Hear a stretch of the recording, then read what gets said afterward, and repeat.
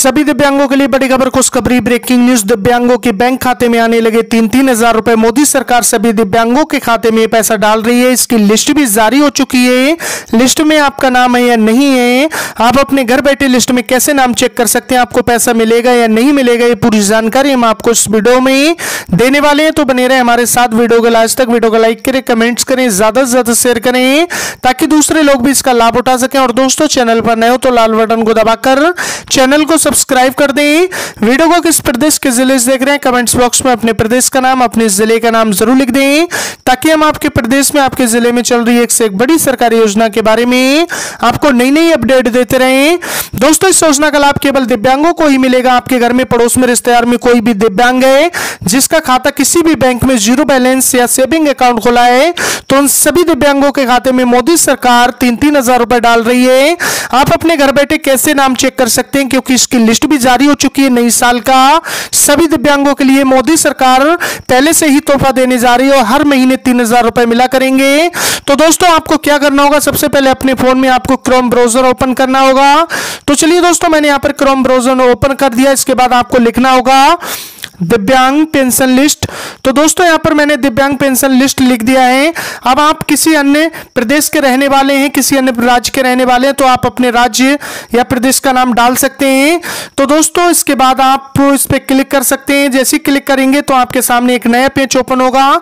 दोस्तों, यहाँ पर मैंने उत्तर प्रदेश की लिस्ट चेक करना है तो यहाँ पर उत्तर प्रदेश की आगे आप अगर किसी दूसरे राज्य की करना चाहते हैं तो आप नाम डाल सकते हैं और आपके राज्य की लिस्ट निकलकर सामने आ जाएगी।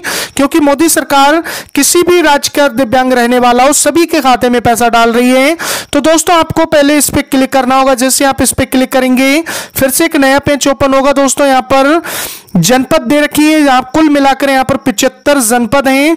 जो भी आपकी जनपद आप अपने जनपद के हिसाब से चुन सकते हैं। तो चलिए मैं यहाँ पर कोई एक जनपद चुन लेता हूँ।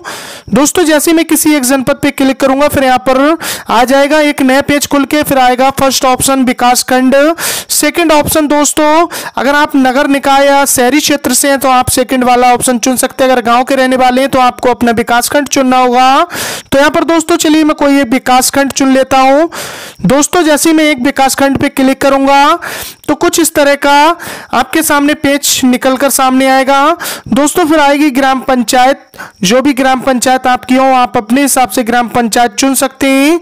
तो चलिए दोस्तों, मैं इनमें से कोई एक ग्राम पंचायत चुन लेता हूँ।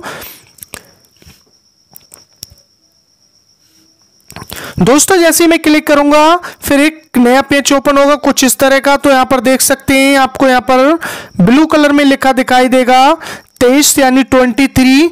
आपको इस पर क्लिक करना होगा। जैसे आप इस पर क्लिक करेंगे, फिर से एक नया पेज आपके सामने ओपन होगा, दोस्तों। यहाँ पर देख सकते हो, काफ़ी सारे लोग हैं यहाँ पर। शंभुनाथ सिंह हैं, और दोस्तों, संजय हैं, राघव हैं ये सारे लोग हैं, इनको तीन तीन हज़ार रुपए मिल चुका है। दोस्तों, यहाँ पर देख सकते हो, काफ़ी सारे लोग हैं, मैं आपको लिस्ट दिखाता हूँ पूरी। इन लोगों को तीन तीन हज़ार रुपए मिल चुके हैं और इनके बैंक के लास्ट के फोर डिजिट यानी चार अंक बैंक खाते के आपको देखने को मिल जाएँगे।